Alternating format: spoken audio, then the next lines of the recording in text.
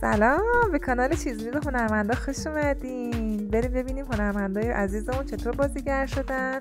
شیلا خدا داد داشته از داروخونه خرید می‌کرده که آقای کیمیایی بهش پیشنهاد بازی کردن توی یکی از سریالاشو میده.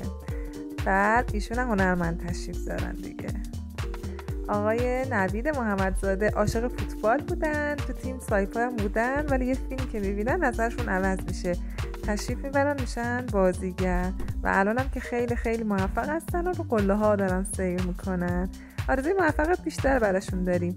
بریم سراغ خانم خوشگل خودمون. خانم خانم فریبا نادری هم با دوستشون رفته بودن تست بازیگری بودن ولی ایشون انتخاب می‌کنن آقای رسام.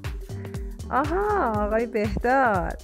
دستیار آقای رامبد جوان بودن که ایشون بهشون پیشنهاد میدن که بیاین توی بازی نقش اول داشته باشین و بازی می‌کنن تو فیلم آخر بازی.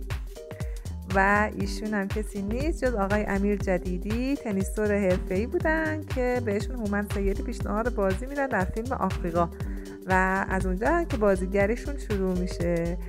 و خیلی هم مثل که موفق تشریف دارن. موفق بیشتر بشن ایشالله و خانم مریم کاویانی هم که پرستار بودن و نادر مقدس بهشون پیشنهاد بازی میدن تو فیلم رویای جوانی وقتی که تو بیمارستان تشریف داشتن. ایشون هم تبدیل میشن به بازیگر. و بعد نفر بعدی که خیلی فوقالعاده هستن خانم هدیه تهرانی هستن. خانم هدیه تهرانی هم مسئول از خرید فروشگاه بودن که آقای شریفی نیا و آزیتا حاجیان ایشون رو می‌بینم پیشنهاد بازی در فیلم روز واقعه رو بهشون میدن. نفر بعدی هم که معرف حضورتون هستن بهنوش بختیاری هستن که منشی صحنه بودن و بعد از اون به پیشنهاد کارگردان وارد سینما میشن. تا بعد.